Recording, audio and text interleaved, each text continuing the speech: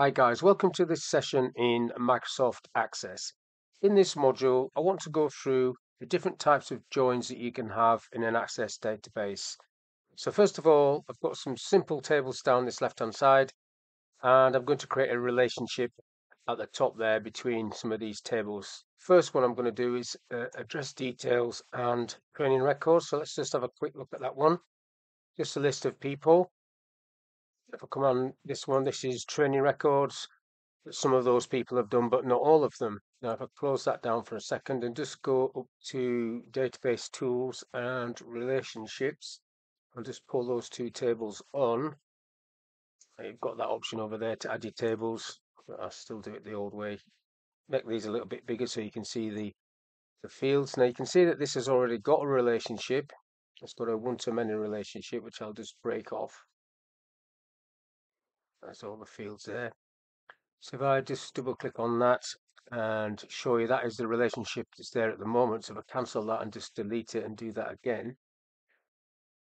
To create that relationship, what you have to have is a primary key in that table, address details, the staff ID key, which cannot be duplicated.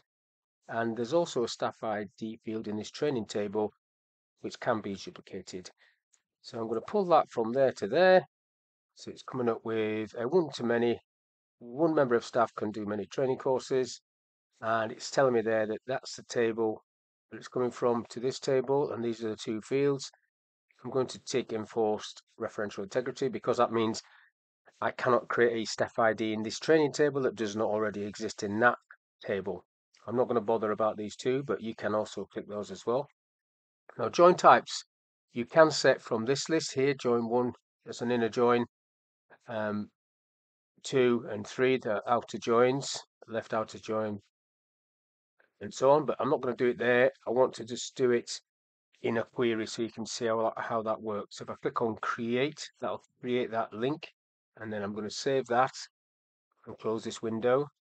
Then I'm going to create a query, create query design, where I'm going to add those two tables, that one and that one and then you can see the links already there. Now you can actually do the join, the link should I say, here, but you can do the joins here as well. So let's make those a little bit bigger. Like so. And then add a couple of fields. So if I add title, first name and surname, and then course attended and date attended there from two different tables, if I run this query, that just shows me all the people that did a course. Now, if I come back to this, this is what's called an inner join, where it's just showing you both matching records from both tables. If I just double click on that line there, that's the default. So you have like a left table at the top, which is this, and a right table on the top there, which is this table. Join type 1, which includes all records that are related, as you can see there. So if I just tick the two, this is a left outer joint. If I click on OK, you can see it's coming from the left table out to this table, and you see the arrow there. So basically, it's going to show you all of these records, but only the records that are related in this table. So if I just double click on that again, so you can read it, all the records from the left table, address details, but only the ones from the right table training records. So click OK to that, run the query, you should see that. So it's showing you all of the people, but not all of the courses. Let's do a sort there, you can see that's how that would sit if I sorted that. So that was the left outer join. If I go back into it and change that round, click on number three, this is a right outer join, so it's a right table, and the arrow is going to point that way. If I click OK to that, you see that?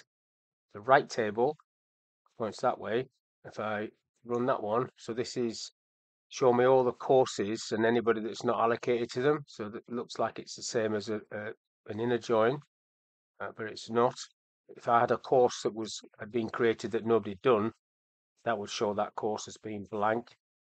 Now, if I put this back to the inner join, which is the default you can see how that works. Now, if you do it slightly different, if I delete this link and go from this table to that um, one, and then double click on it, you see now the left table is has become this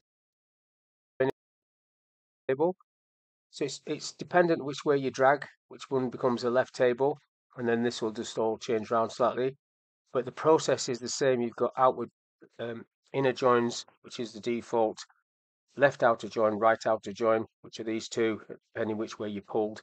If you've created the join relationship in the database tools area up here, that is um, way I dragged that was from there to there. That is the default, so that made that the left table. Now, if I just come out of this, there is another join you can do. Let me just delete this one off, staff ID. Now, I've got this table here with um, managers in it, um, but I've actually copied the table into staff relationships just to show you that there are uh, there is another join that you can do where you can have a it's called a self join. I just delete this off a minute and open up this table, what I've got in this table is a staff ID there, but then a list of managers and managers ID. So I can create a self join which will tell me which of these people I've got managers or what managers they've got. So this is what I'm going to do. I'll close that down. What you have to do is bring that table in. Ideally, you would have a separate table for managers. That's not how really how Access works, but let's say you have it like this. So you need to do it like this. Now I need to bring that second one across.